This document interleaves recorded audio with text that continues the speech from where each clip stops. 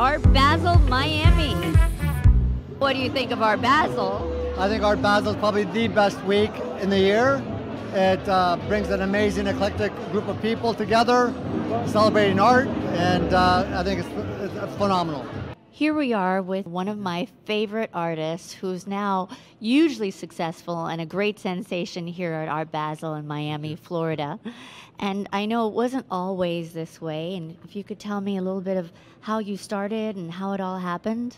I, I never planned to be an artist. It's just something I wanted to do as a kid. Mm-hmm. And I just found myself in a job that, you know, I didn't love. And I was kind of, you know, hoping for Friday to come and anxiety on Sunday when I had to go to work on Monday, just kind of like a lot of people. And I just wanted to find something to look forward to that I love to do every day. So I started doing artwork for fun. And it just kind of exploded. A, you know, a friend of mine took the artwork and he hung it in his restaurant and he said, you know, do you mind if I sell it? And I said, I don't know if I, I don't think people would pay more than it cost me to make. Right. So I didn't want to sell it. And he says, eh, don't, I'll, I'll take care of it. But then he ended up selling it four days later for, you know, amount of money that was, you know, worth me quitting my job and kind of validated my dreams. And, and I quit my job the next day and it just kind of blew up from there. I heard the first painting sold for fourteen thousand. It did. It did. It was like, but it wasn't so much. It wasn't so much about the money. It was more about the, the fact that I probably could quit my job at that point, you know, and and do it as a career. And I heard that I, I don't know if the story is true, but that you you were homeless at one point, and now you're this huge success. Is that is that true? Uh, yeah, I was homeless for five years, but you know I wouldn't change any of that because a lot of the reason I make my artwork look the way it looks and the stories kind of developed with my stories from being homeless and you know the influences I had during that period. And, I always thought when I was homeless that you know people would look at you and judge you and I thought, wouldn't it be nice if the story of your life could be tattooed on your skin and people would just know your story?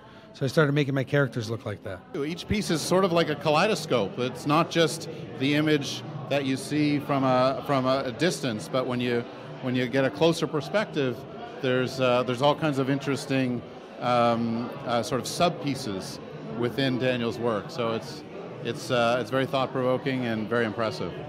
Who would you say that you've met that um, left the biggest impression or inspired you in some way? I mean, I think the most exciting person I ever met was the Pope. I heard that. That's incredible. That was cool. Um, yeah. Tell I mean, me a little bit about how that happened, meeting the Pope. I donate a lot for children's charities, and um, mm-hmm. one of them happened to be a charity that the Pope runs. Mm-hmm. And then I got a letter, an email, saying that you know uh, His Holiness would like to invite you to the Vatican, and I thought it was a joke. I really literally wrote back, "LOL, nice joke," and they wrote back, "No, no, it's real. It's because you donated and blah blah blah." So I ended up going, and, and it was you know just obviously an experience that you know not many people get to do, and something I'll never forget. I, I have a certain certain charities that I deal with every year, mm-hmm. but all of them are always about kids. You know, because a lot of these kids start off without a chance, and I think it's nice to help them. I needed help at one point too, so it's nice to be able to give back. Well, thank you thank so you. much for being thank here you. in Miami, part of Art Basel, and making it all a huge success for us and for being such a sensational artist. Thank you so much. Thank you. I, I love his pieces. I think they're beautiful, colorful, playful. I think they're masterfully done. I'm a big fan. Art Basel Miami going strong. Check out this line behind me. And that's just one of today's events.